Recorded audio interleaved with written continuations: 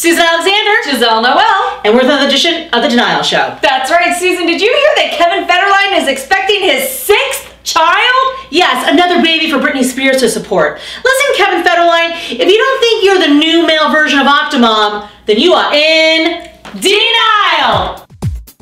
Denial. Denial.